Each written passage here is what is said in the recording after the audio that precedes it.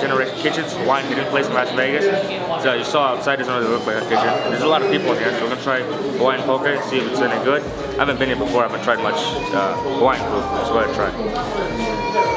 Try sweet poke also. I think that comes out pretty good. That's interesting. We also ordered, I ordered the Hawaiian uh, hurricane chicken bowl or plate. So we'll go ahead and try some of that too. And then uh, some of the drinks also.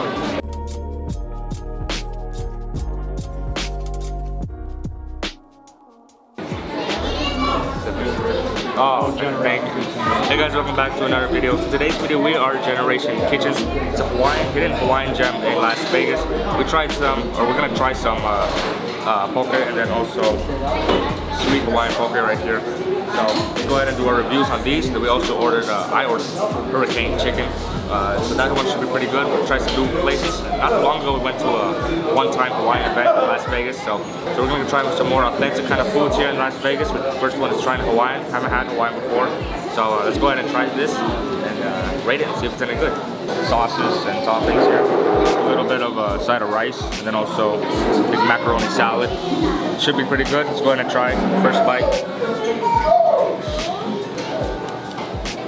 The sauce is kind of sweet. And this order is really good. So yeah, you guys are ever here, it's kind of a hidden gem, you can't really find it. Go ahead and order whatever you want. They have spam musubi. The hurricane chicken is really good. This side of rice and then also you have uh, your Hawaiian poke. I would recommend this. Oh man, perfect timing. I took a. Then we're also gonna try the Hawaiian Sun drink here. Good. Just iced tea.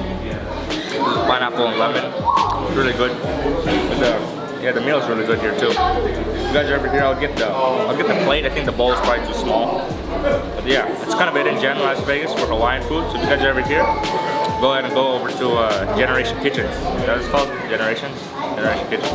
I do hope you guys enjoyed today's video. If you did, in the comments below. See you guys in the next one.